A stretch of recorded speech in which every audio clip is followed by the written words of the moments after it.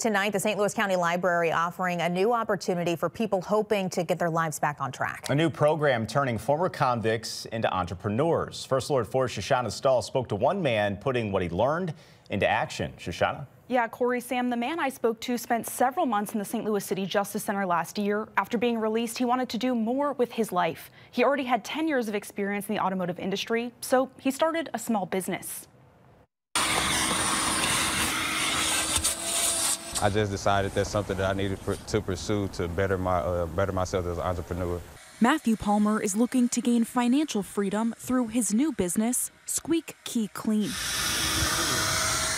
which offers mobile car detailing like Netflix offers the monthly services and stuff. I can pull up to anybody's job, household, and things like that, uh, do an oil change in the driveway, take care of the vehicle inside and out. Palmer learned about running a business through the St. Louis County Library Small Business Launchpad program, an initiative for those who were incarcerated. Right now, Palmer is on probation for unlawful use of a weapon in St. Louis City. I got out and I just uh, had the motivation to, hey, I need to apply myself uh, more in life.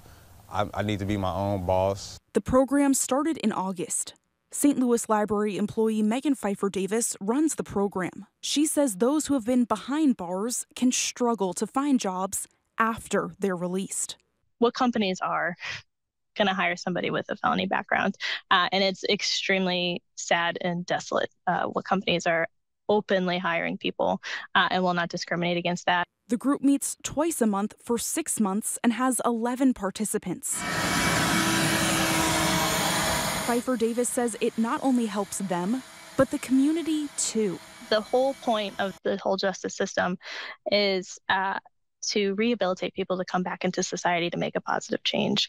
And that's exactly what they're trying to do. And so by making that small business, they're not only making wealth and support for themselves or giving it back into the economy um, to hopefully support uh, the St. Louis ecosystem.